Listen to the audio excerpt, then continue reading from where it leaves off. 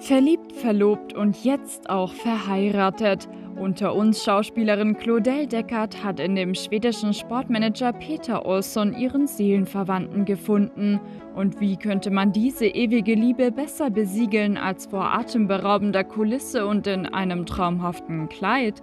Nach der standesamtlichen Trauung in Kopenhagen hat sich das Paar jetzt vor der Familie und 60 Freunden, darunter unter anderem Model Barbara Meyer sowie Wayne und Annemarie Carpendale, in einer emotionalen Zeremonie das ja-Wort gegeben.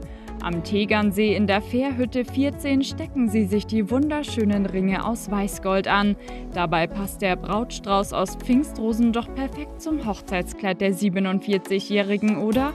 Der hochgeschlitzte Traum in Weiß von Milanova setzt Claudels Dekolleté perfekt in Szene. Zu viel transparenter Spitze gibt's auch noch einen Wow-Ausschnitt am Rücken.